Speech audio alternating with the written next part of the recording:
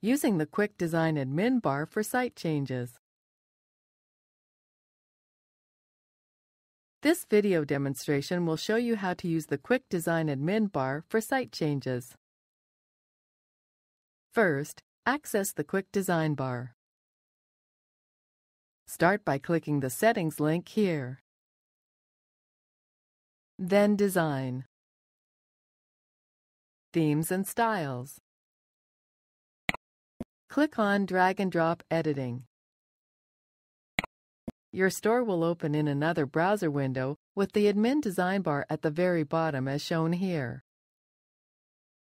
Let's see how to make some changes.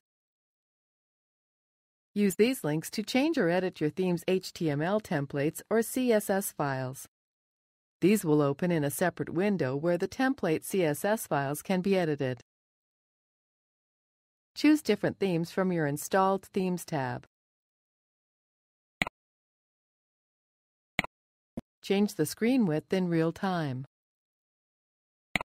Specify individual display options. Use the drag and drop mode button to grab and move individual elements to and from your side banners.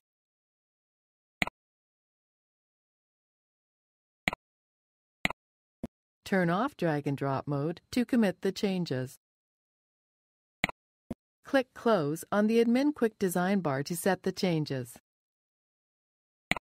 This concludes the demonstration. You should now be familiar with using the Quick Design Admin bar.